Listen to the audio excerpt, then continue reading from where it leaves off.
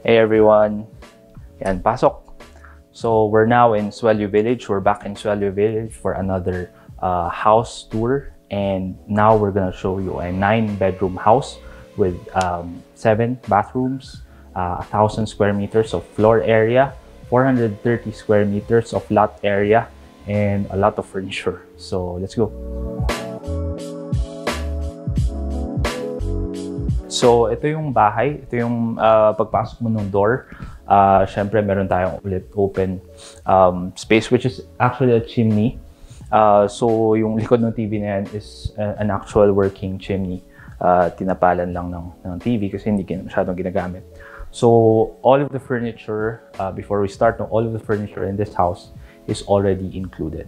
So, let's go here. Um, so, we have our dining area. And then this dining area goes through this uh, parang recreational area also. So, okay siya for vis mga bisita or uh, syempre kapag marami kayong friends na pumunta Baguio or family, ayan, pwede kayo tumambay. Uh, kasyang-kasya kayo dito. So, we also have a parang lanay over here. This is the lanay. So, it overlooks the garden. So, sa isang lote na 420 square meters, may garden ka pa, medyo okay na rin. So, it's overlooking that area. Um, yeah, so we have another space here for uh, visitors, uh, events. Okay, so galing na tayo sa lanay. So, we're now going into the kitchen naman. So maraming sitting area actually, no? So in the future, if you want to refurbish or re-renovate the area, renovate the house, uh, syempre you can add siguro another kitchen or palakihin siya. But you know what? Medyo malaki na rin. So this is the kitchen over here. Um, so the kitchen is on the south side of the house. Uh, so we have our pantry here. Yan. So meron tayong utility door doon. So, sa mga galing sa mga palengke, yan, diretso na yan dito. And then, uh, yeah, so we have, uh, actually hindi siya, wala siyang window.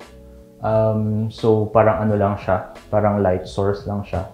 Tapos nilagyan lang ng design. But, I think that can be fixed or that can be changed also. But overall, okay rin kasi lahat ng ano, lahat ng uh, cabinetries are 100% wood and um, parang hindi siya plywood, syempre. Uh, it's it's really expensive now yung mga ganito. Kasi when you buy that instead of yung ano lang, yung plywood, laking gastos na rin siya. Pero yun. So it's it's mura before. So that's the advantages of buying houses that are quite old. Um, some of the furnitures that are now expensive uh, before mura pa kasi siya. So that's included in the price.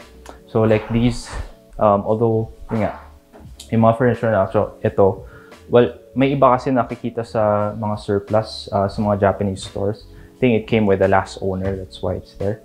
Um, but overall, okay naman. Okay naman yung pagkakalagay. So, uh, let's now go to the second floor.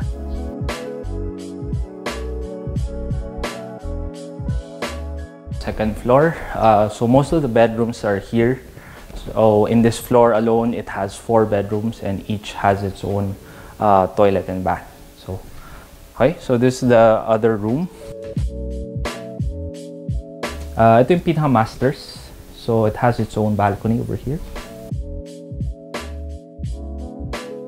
So this is more of the right side and in same direction as the garden over there.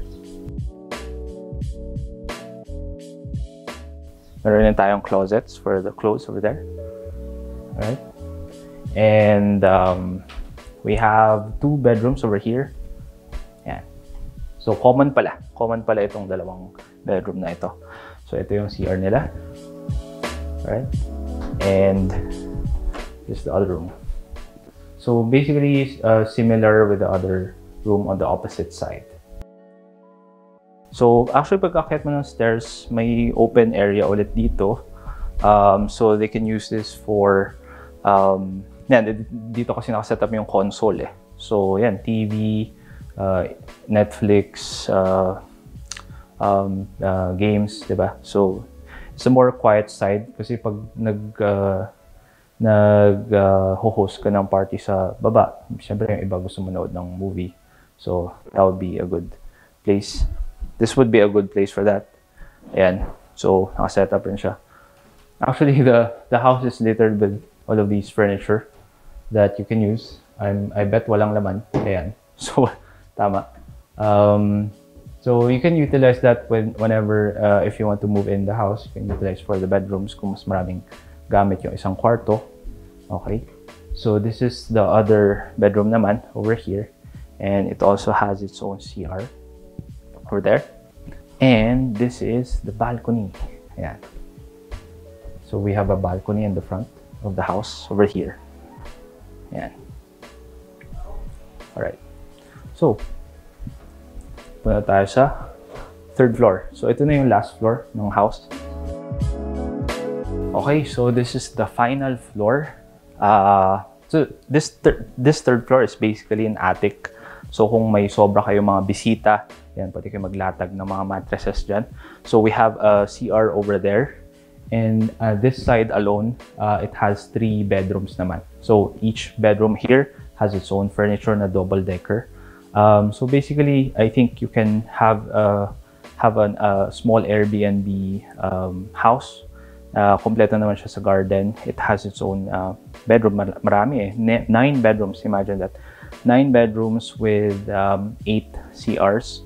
So you can rent it out basically. No? And this area has a very strong uh, source of water. So hindi kayo problema on that part. No? So that's it for this house. If you want to inquire about this property, please contact us with the details below and don't forget to subscribe to our YouTube channel for more properties in North Luzon.